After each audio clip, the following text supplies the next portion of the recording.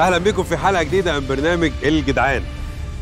النهارده حابب قبل ما أقدم فقراتنا إن أنا أتكلم على مشروع مهم جدا افتتاحه يوم 30 6 في اليوم العظيم ده هيتم افتتاح واحد من أعظم مشروعات الاستزراع السمكي وتحديدا مشروع بركة غليون في كفر الشيخ.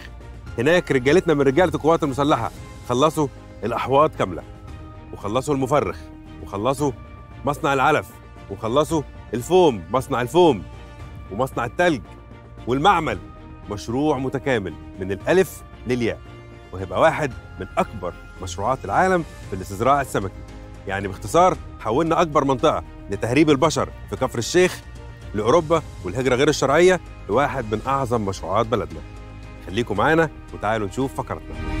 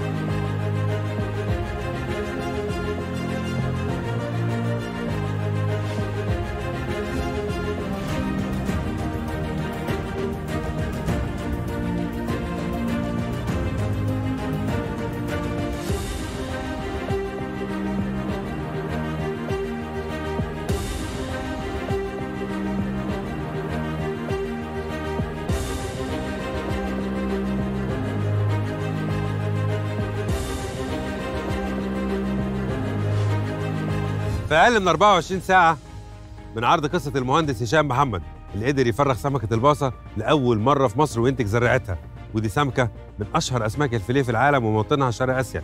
تحمس لفكرة هشام اللواء حمدي بدين رئيس الشركة الوطنية للاستزراع السمكي وحدد فريق لزيارة هشام في مفرخه بأبو تلات بإسكندرية. هناك كان معانا اللواء طارق عيسى رئيس مشروع بركة غليون أكبر مشروع للاستزراع السمكي في العالم. والدكتور محمد الجزار مستشار وزارة الدفاع للاستزراع السمكي.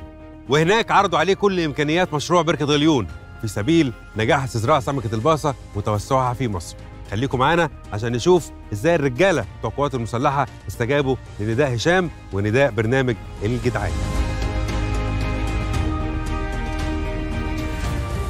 فاكرين طبعا المهندس هشام محمد الشاب اللي قدر يفرخ سمك الباصة لأول مرة في مصر بعد تسع سنين من البحث في أسرارها كأشهر أسماك الفيليه في العالم. هشام أول ما عرضنا قصته في الجدعان يوم الجمعة اللي فاتت اتقلبت الدنيا وفوجئنا بكل الناس بتكلمنا وفرحانة بالإنجاز اللي حققه هشام لكن أهم تليفون فرح فريق الجدعان. تاني يوم الحلقة كان من الشركة الوطنية للاستزراع السمكي بوزارة الدفاع.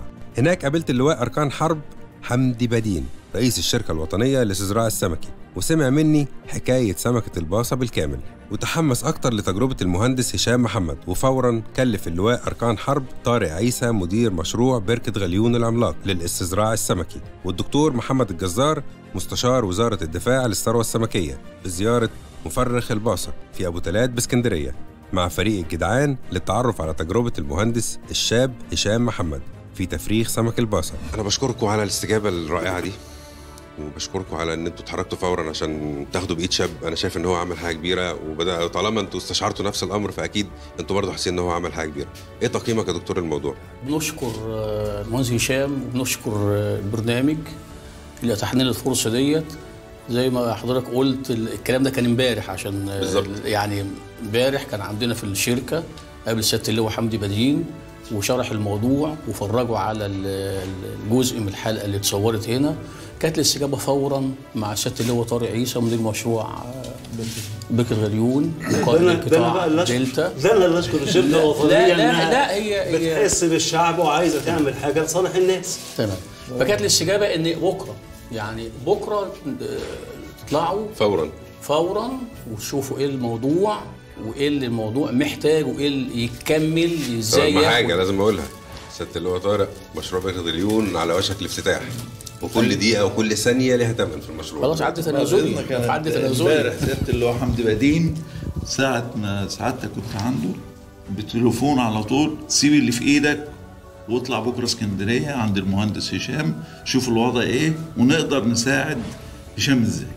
تحيه يلا، للي هو لا، حمدي تحية. بدين الراجل المحترم اللي لم يتأخر لحظة في إن هو يستجيب وإن هو يستفيد من خبرات شاب على مدى تسع سنين اتكونت على سمكة إحنا أكيد محتاجينها في مصر. أكيد. وإن شاء الله هيبقى في تعاون مثمر بينا إن شاء الله. وخاصة إن كل المقومات بتاع المهندس هشام عندنا في بركة غليون. من مفرخ من مصنع processing من مصنع علف من مصنع تلج من مصنع fish meal مسحوق س- آه، مسحوق سمك. فكل المقومات اللي هو بيبني عليها المشروع بتاعه موجودة عندنا. فيشرفنا طبعا. سلم نفسك. سلم. نفسك. لا أنا شرفني إن أسلم نفسي بالطريقة ديت. أنا عايز ال- الحاجة دي تنتج والناس تاكل.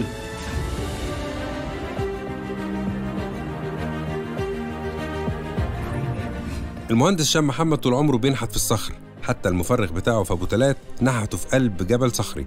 واستغل الجبل في خفض درجة حرارة المفرغ السمكي اللي هو في الأساس أشهر مفرخات إنتاج أسماك الزينة في مصر. هشام طمنا الأول. أنت عندك زريعه جاهزة لبركة غليون؟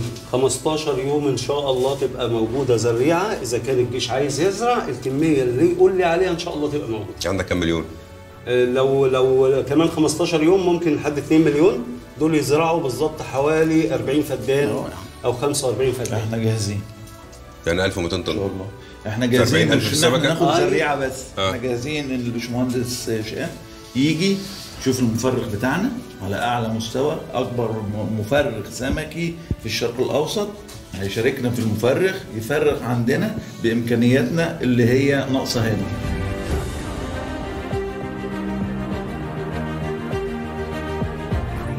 دلوقتي هنعرف مع الدكتور محمد الجزار مستشار وزارة الدفاع للثروة السمكية الرأي السديد في جدوى استزراع أسماك الباصة في مصر وإزاي ممكن تعمل ثورة في الاستزراع السمكي؟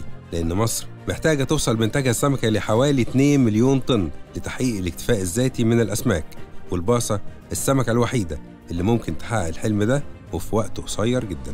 دكتور محمد أنا عايز من حضرتك بقى تقييم كامل لتجربة الباصة من خبراتك على مدى سنوات. أنت كنت رئيس هيئة الثروة السمكية أنت مستشار وزارة الدفاع المنظمه العربية جامعة الدول العربية قول لنا تجربتك وكنت في أشهر بعثة راحت فيتنام مع الدكتور محمد فتحي عثمان رئيس هيئة الثروة السمكية ساعة أزمة الباصة. لما اتقال عليها إن إحنا بنزرعها في هناك بيزرعوها في المصارف. ال- ال- سمكة الباسة من الأسماك الواعدة عالميا. في المياه كمياه عذبة أو مياه شروب اللي هي المتوسطة بين الملوحة وال وال- والعذبة.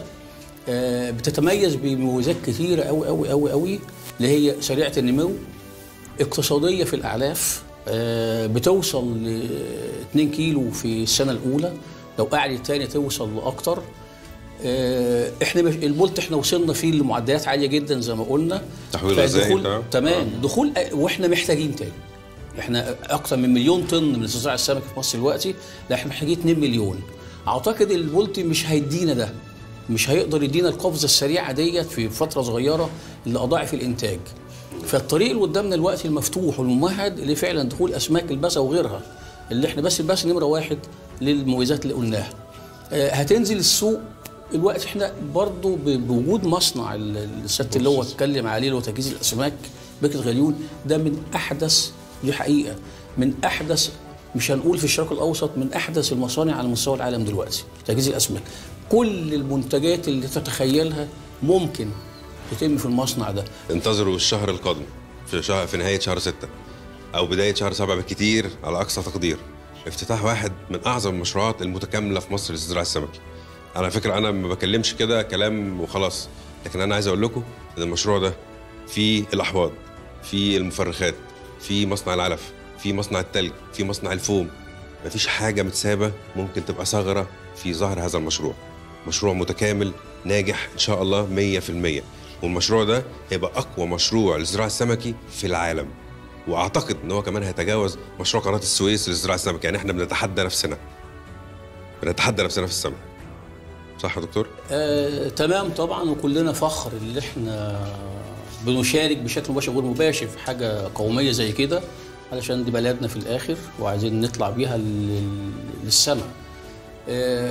وإن شاء الله أنا متفائل جدا جدا من ال من ال من المشروع ومن النتائج. وعندي في مشروعات تانية طبعا. الولد ده هنعمل إيه؟ هذا الشاب المحترم المهندس المدني الذي ترك كل شيء وتفرغ اللي هو للبصر طارق فتح له أبواب المشروع على هو مشروعين هشام إن شاء الله معانا. كويس. وإن شاء الله هتصور معاه هناك. إن شاء الله. أنا جاهز. إن شاء الله. أنا جاهز. إن شاء الله.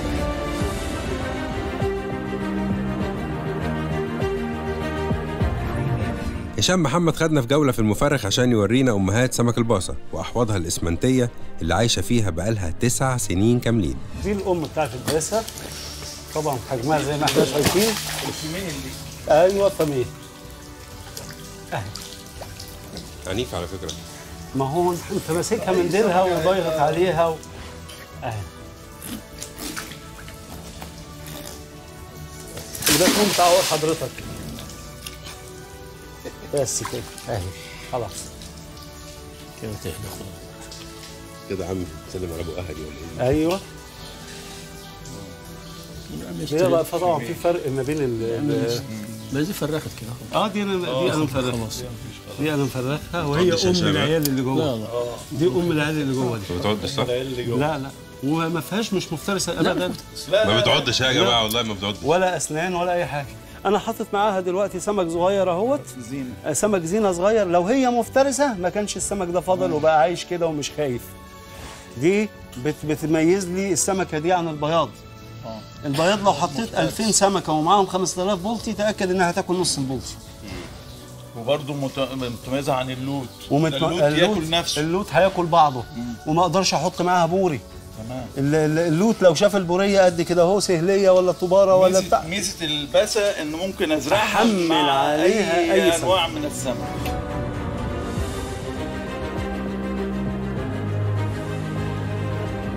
إيهاب الحنفي مزارع أسماك بقرية دمرو في كفر الشيخ وهو أول واحد تحمس لتجربة المهندس هشام محمد وزرع أسماك الباصة في أحواض ترابية بأرضه.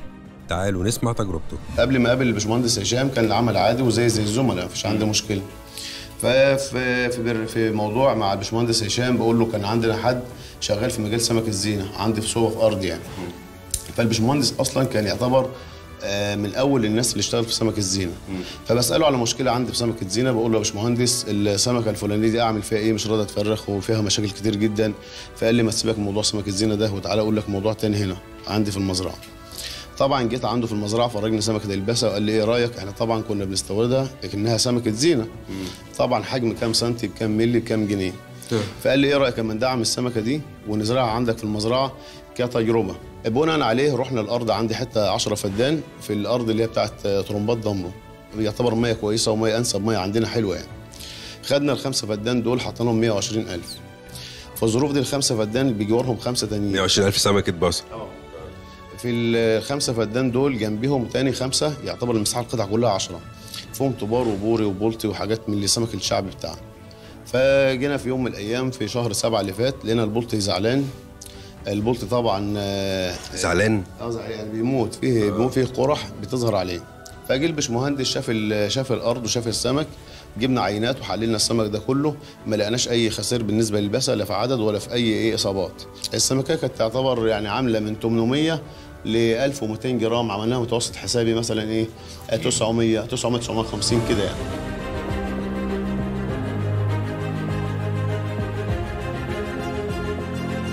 اللواء طارق عيسى رئيس مشروع بركة غليون كان بيتابع حديث المهندس هشام محمد بتركيز شديد جدا وفي الآخر عرض عليه كل إمكانيات مشروع بركة غليون لضمان نجاح تفريخ واستزراع كميات ضخمة من أسماك الباصة.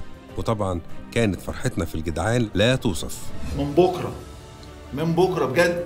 لو أنت عندك كده. وقت تجيلي بكرة تتفرج على الحاجات دي. عنده وقت؟ لا روح يا عم إحنا آه، إحنا. لبينا إحنا لبينا في يوم انت لا لا أنا أنا قاعد في العربية بره دور عربيه هو أشكرك يا فندم. دكتور محمد أشكرك. هشام بالتوفيق. الله يخليك. ولو كل في اي حد في البلد زي هشام إحنا معاه. إحنا عايزين دي يا جماعة دي يا جماعة القوات المسلحه ودور الجليد يا عايزين مليون عايزين مليون هشام. الشباب. الله يبارك فيك. وعايزين مليون حد زي رجالة القوات المسلحه أحلى جيش في الدنيا وربنا يحمي ربنا يحمي.